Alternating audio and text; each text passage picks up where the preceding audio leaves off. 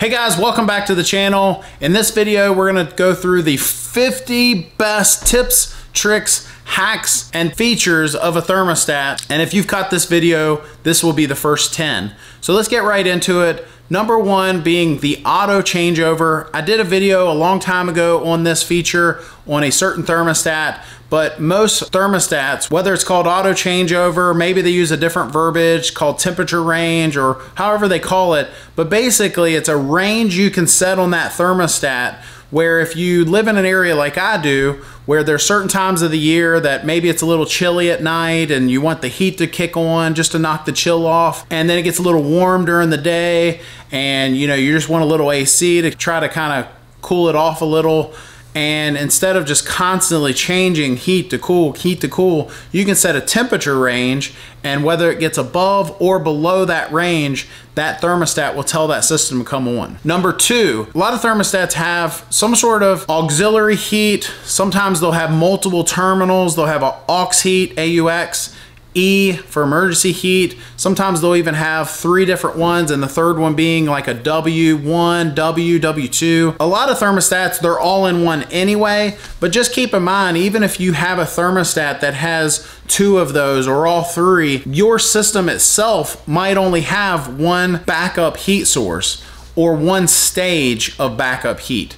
And so a lot of times with a lot of those thermostats, we'll actually end up, you know, adding a jumper in there. So if I've got an aux and an E, so whether I put that thermostat in emergency heat or I have it in regular heat, but I want it to still bring on those backup heat strips, for example. Whatever that backup heat source is, I might actually jumper those two, so that way it still controls that one backup heat source. Number three would be the backup heat stage timer, or I know some brands call it something different, but basically it's a timer that you can set, so that way that thermostat gives your first stage heat a chance. It's literally a timer, it's got a set amount of time, and so if you set it at, say, let's just say 30 minutes or an hour, whatever that you set it at, it will give that first stage heat, so maybe a heat pump, a chance to try to reach temperature before it brings on backup heat.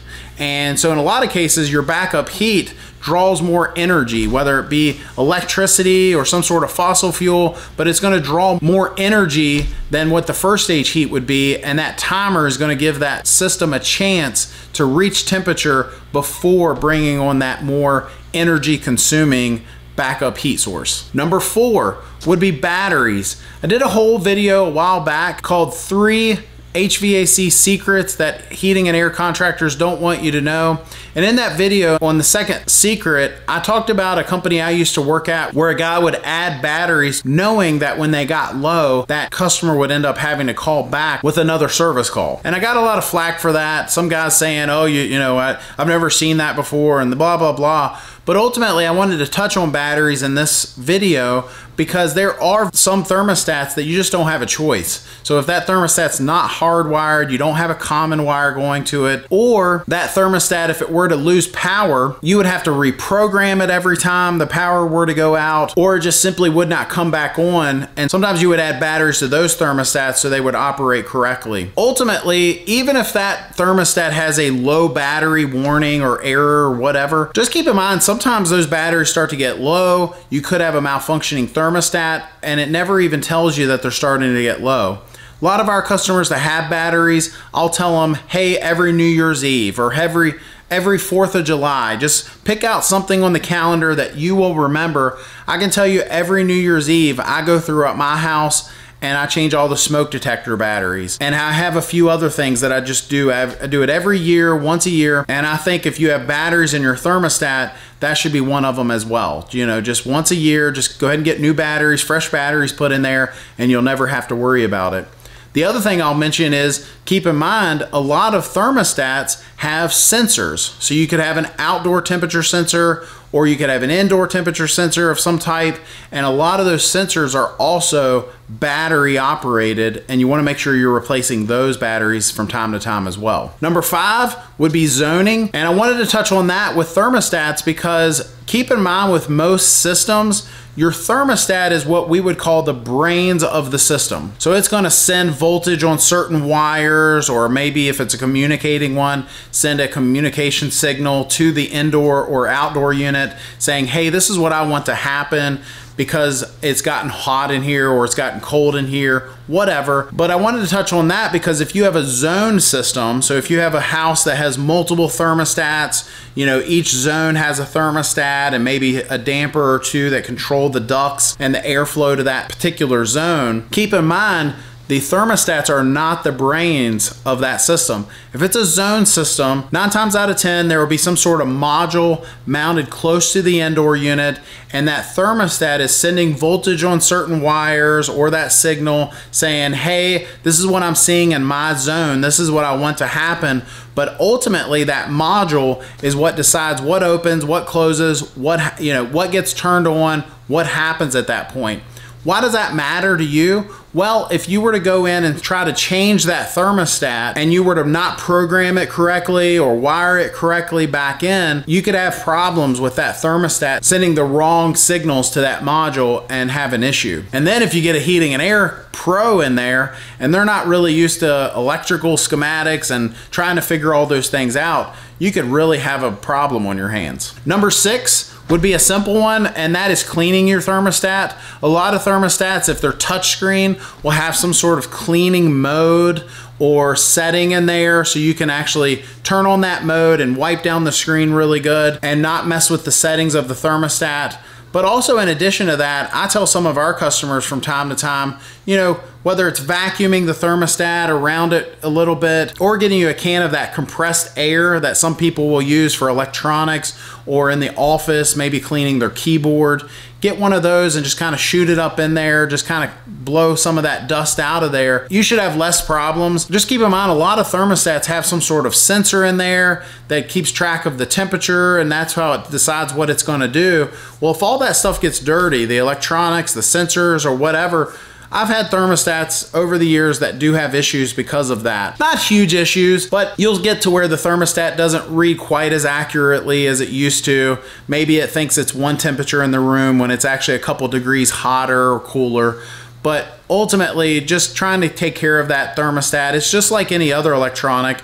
You want to keep it clean and all that good stuff. Number seven, a lot of thermostats have what we would call an eco mode and an energy saving mode. And a lot of them, it's just as simple as just hitting a button or a setting on the home screen and just telling the thermostat that you're caring more about energy savings than comfort. Some thermostats you have to go a little further and go into the programming and change it from either comfort or energy, whatever the verbiage is. But basically, the two options are you're telling that thermostat, hey, I care more about energy savings. I want you to try to give the first stage more of a chance before you bring on backup stages and just try to save as much energy, run as little as possible to keep the home comfortable. Whereas the comfort setting, is it isn't afraid to run any stage and it usually wastes no time going to a second stage or third stage or whatever, however the thermostat is set up, basically running more at a level of comfort for you and trying to get there as quickly as possible typically.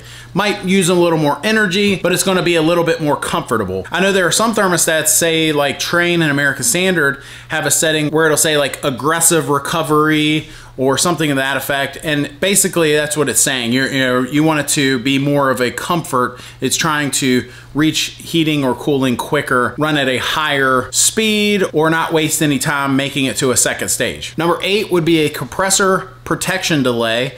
And what that is, a lot of thermostats have some sort of delay. If you make a change to that thermostat, if you change modes or temperature, it'll have some sort of delay so that way there's no short cycling. In the old days when we had mechanical thermostats, so whether it being a mechanical mercury bulb or some sort of lever with a spring, however the thermostat was set up, those thermostats, you could actually turn them up and down quickly and you would send voltage to the compressor and at times short cycling it with that initial spike of energy and you could actually make compressors fail because of it. It's not good for a compressor. And as time went on, a lot of systems, heat pumps, ACs, started coming out with delays on the boards themselves. And that's still not uncommon today.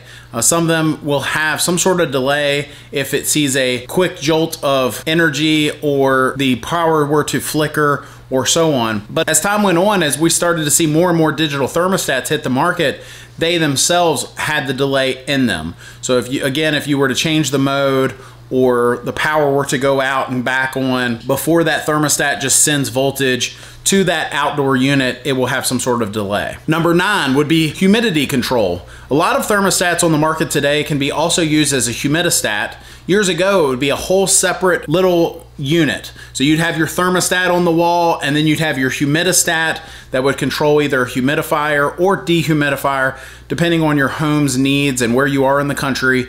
But as time has gone on, a lot of thermostats themselves can control the humidity and those items. Whether it's dry contacts in the thermostat itself or a lot of communicating thermostats will have the signal sent to the indoor unit and the dry contacts would be located there. Wherever it is, a lot of those thermostats, again, can control humidifiers, dehumidifiers, and so on. And finally, 10, I saved this for last in this video because I think it's a really neat feature, and that is customer service. And you might say, well, what do you mean customer service? I mean, we're talking about a thermostat here. And what I mean by that is a lot of thermostat manufacturers years ago would only cater to contractors. Uh, that, a lot of them didn't even sell to homeowners, but as time has gone on, a lot of them will sell directly to homeowners. You can go to a hardware store, big box store, and buy thermostats yourselves. And because of that, because of that relationship, they want to sell direct to consumer. A lot of them have some sort of customer service where they will help you. So you don't have to hire a pro in all cases. If you call them directly and you say, hey, this is kind of what I have, this is what I'm seeing, you know, I got this going on, I'm replacing the, my thermostat with yours and so on, a lot of times that customer service will help you wire or program your new thermostat. Now, they're not going to help you fix your air conditioner in most cases, but they will help you if you are installing their product and you're having an issue, you're not quite sure where a wire goes or how something should be programmed, they will help you with that. All that said, I hope that helps. If you're in the market for a heating and air system and you're not in Griffin Air's coverage area, before you spend thousands, check out my website, newhvacguide.com. I've put so much stuff on that website, it's as if I wrote a book, but instead of a book that would become outdated, I can add things, change things to this website but I put so much information on there. A lot of it heating and air manufacturers and contractors don't even want you to know. I've got a whole page called no-nos, things to stay away from. I've got a page for my favorite heating and air brands versus ones that I'm not such a fan of. All that can be found on the website, but if you are in Griffin Air's coverage area, if you're in Virginia in the Northern Neck, Middle Peninsula, down through Williamsburg, Virginia, give us a call. We'll give you a free estimate and the best warranty in the area, and we'd love to earn your business. Thanks for watching. Hit that subscribe button. We'll see you next time.